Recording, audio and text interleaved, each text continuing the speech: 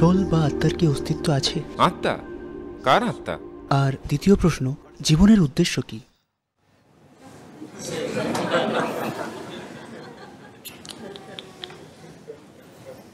You're just asking very big আপনি খুব বড় বড় প্রশ্ন করছেন। প্রশ্নটা তাৎপর্য না বুঝেই দেখুন যখন জিজ্ঞাসা করেন আত্মার অস্তিত্ব আছে কিনা আপনি কিন্তু কোনো বইতে পড়া বিদ্যার কথা বলছেন না।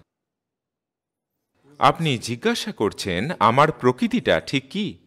অথবা বলছেন, আমি আমার নিজের ব্যাপারে কিছু জানি না, দয়া করে বলুন আমায়। হ্যাঁ তাই না? আপনি এত সহজভাবে জিজ্ঞাসা করছেন, কারণ আপনাকে অজ্ঞানতার যন্ত্রণা স্পর্শ করেনি। আপনি কে তা না জানার যন্ত্রণা আপনাকে এখনও ছিন্নভিন্ন করেনি।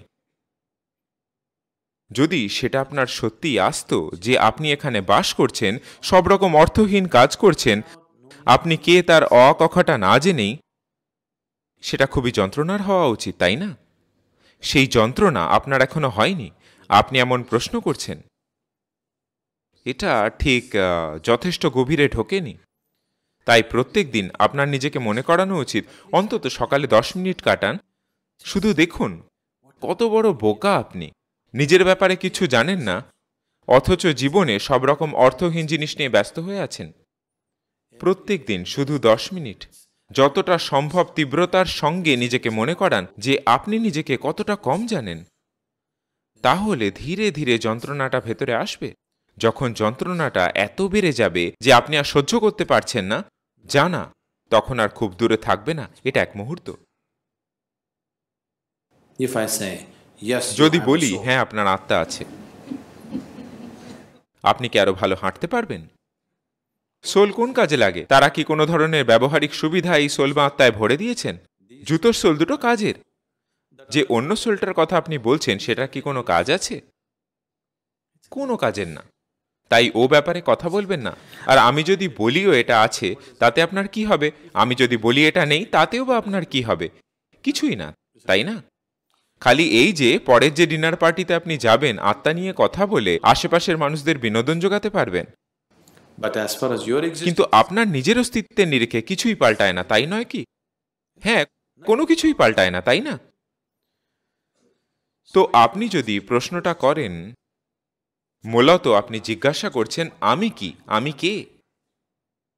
আপনি যে এখানে আছেন আপনি কি বেঁচে আছেন? আপনি বেঁচে আছেন। যখন আপনি এখানে বেঁচে তাহলে আপনি কে তা জানার উপায়টা কি? এটা কি সত্যিই খুব হাস্যকর আর পাগলামি নয় যে আপনার আমাকে জিজ্ঞাসা করতে হবে? দয়া করে আমাকে বলুন আমি কে? এটা এরকম দুজন মনোরোগ চিকিৎসক একদিন কোভালাম বিচে হাঁটছিলেন।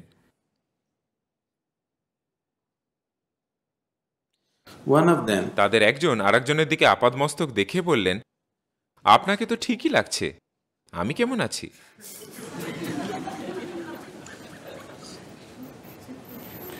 এটা ঠিক সেরকম, তাই না? আপনি এখানে বসে আছেন, বেঁচে আছেন। আপনি বর্তমানে আছেন, অথচ আমাকে জিজ্ঞাসা করছেন, আমি কে? আমি কি? এটা কি হাস্যকর নয়? খুব হাস্যকর, তাই না? কেবল এই যে, বেশিরভাগ মানুষ আপনারই দলে, এটাই একমাত্র স্বস্তি, যা আপনাকে অজ্ঞানতার যন্ত্রণা যে কি, তা জানতে দেয়নি। আপনার চারদিকে এক বিশাল সংখ্যাগরিষ্ঠ জনতা আছে, যারা সবাই বলছেন হ্যাঁ এভাবেই থাকো হ্যাঁ? এটাই একমাত্র জিনিস যা আপনাকে কিছুটা স্বস্তি দিয়েছে। ধরুন এই পৃথিবীতে আপনি একমাত্র মানুষ যিনি জানেন না তিনি কে বাকি সবাই জানেন। জানেন সেটা আপনার জন্য কেমন হবে? হ্যাঁ? আপনি জানেন না আপনি কে কিন্তু পৃথিবীতে ব্যস্ত কোনো মানে আছে? নাকি পাগলামির মতো শোনাচ্ছে হুম? পাগলামি তাই না? কিন্তু স্বস্তি এই যে আপনি একটা বড় পাগলাগারদে আছেন যেখানে সবাই আপনারই মতো। তো আপনার সমস্যা হলো আপনার অস্তিত্বটাই এই মুহূর্তে অন্য কিছুর সাপেক্ষে নির্ভর করে। আপনার নিজের কোনো অস্তিত্ব নেই এটুকু দেখুন। এই মুহূর্তে আপনার যদি কিছু না থাকে যা সবার আছে everybody has nose সবার নাক আছে। ধরুন আপনার নাক নেই। আসলে আপনি আরও ভালো শ্বাস নিতে পারতেন জানেন?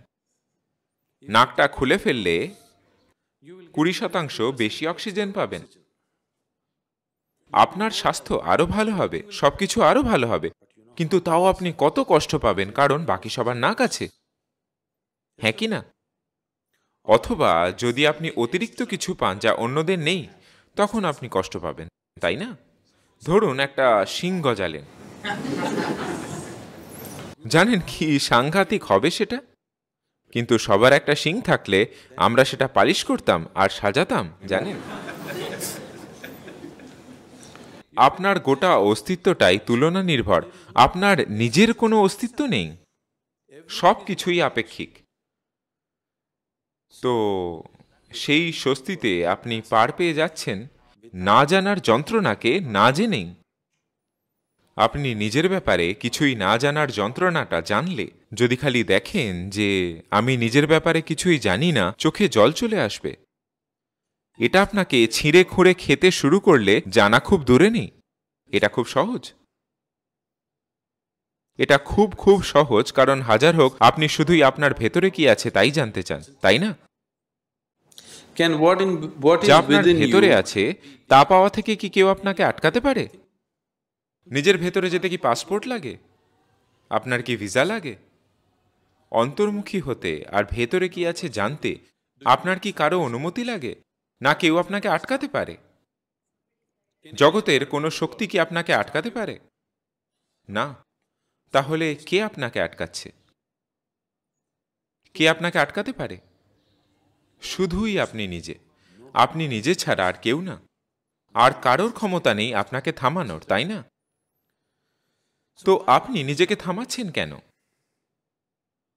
শুধু এই জন্য যে আপনি আপনার পুরো অস্তিত্বটা নিজের বাইরে বানিয়ে নিয়েছেন। আপনার গোটা অস্তিত্বটা আছে অন্য কারোর সঙ্গে তুলনায়। এটা আপনার সঙ্গে ঘটছে কারণ শুধু এই কারণে যে ইন্দ্রিয়গুলোর প্রকৃতি এই। যেহেতু আপনার জীবনের অভিজ্ঞতা ইন্দ্রিয়লব্ধ অনুভূতিতেই সীমাবদ্ধ that is the reason. সেই কারণেই আপনি অন্য কারোর সঙ্গে তুলনা করে বেঁচে আছেন নিজে থেকে নয়। কারণ ইন্দ্রিয়গুলো এরকম যদি এটা ছুঁই আমার ঠান্ডা লাগে। এটা আমার ঠান্ডা লাগে এই স্টিলের রডটা এরকম বলে নয়। আমার শরীরের তাপমাত্রাটা এরকমভাবে আছে বলেই যদি আমার শরীরের তাপমাত্রা কমিয়ে এটা ছুঁই, তাহলে এটা আমার কাছে গরম বলে মনে হবে। ঠিক তো? ঠিক কি না? যদি আমার শরীরের তাপমাত্রা মাইনাস একশোতে নিয়ে গিয়ে এটা ছুঁই, এটা কি জ্বলন্ত গরম লাগবে? ঠিক না? তো আপনার জীবনের একেবারে মৌলিক অভিজ্ঞতাটা ইন্দ্রিয়ের অনুভূতিতেই সীমাবদ্ধ বলে সবকিছুই তুলনামূলক আপেক্ষিক। তাই আপনার মূল অস্তিত্বটাই আপেক্ষিক হয়ে উঠেছে। এটা যদি পাল্টাতে হয় দর্শন আর উপদেশ এই মৌলিক বাস্তবকে পাল্টাতে পারবে না। আপনার জীবনের অভিজ্ঞতা ইন্দ্রিয়ের অনুভূতির সীমাকে অতিক্রম করে গেলে হঠাৎই সবকিছু অন্যরকম হয়ে যায়। আমরা আপনাকে সম্ভবিতে দীক্ষিত করার সময় আপনি একটা প্রক্রিয়ায় নিজেকে সঁপে দিলে এটা আপনাকে সহজেই ইন্দ্রিয়ের অনুভূতির বাইরে নিয়ে যেতে পারত। আপনাদের অনেকেই এরকম মুহূর্তের মধ্যে ঢুকে যাচ্ছেন যেখানে আপনি আর আপনার ইন্দ্রিয়ের অনুভূতিতে নেই, অন্য কিছু ঘটতে শুরু করছে। কিন্তু নতুন কিছু ঘটলেই আপনার মন এমন যে তা শুধু ভয় পেতে জানে। আপনি যদি স্বর্গেও ঢুকে পড়েন, আপনি শুধু ভয়ই পাবেন, কারণ সেটা এমন কিছু যা আপনি জানেন না। আপনি নিজেকে এইভাবে গড়ে তুলেছেন। কিন্তু আপনি এটাকে ঘটার সুযোগ করে দিলে দেখবেন আপনি এমন এক মাত্রা অনুভব করতে শুরু করবেন যা আপনার ইন্দ্রিয়ের অভিজ্ঞতার বাইরে যখন আপনার জীবনের অভিজ্ঞতা ইন্দ্রিয়ের অভিজ্ঞতার বাইরে চলে যায় কেবল তখনই আপনার জীবনের অভিজ্ঞতাটা বাস্তব হয়ে ওঠে অন্য কিছুর তুলনায় আপেক্ষিক নয়। অর্থাৎ আপনার জীবনের অভিজ্ঞতা ভৌত প্রকৃতির সীমাবদ্ধতাকে অতিক্রম করেছে। তার মানে আপনি সেই পরিবেশটা তৈরি করেছেন যাতে জানতে পারেন আপনি আসলে কি। আর আপনার সত্যি জানা উচিত আপনি আসলে কি। না হলে আপনি যা কিছুই করুন তার কোনো গুরুত্বই নেই।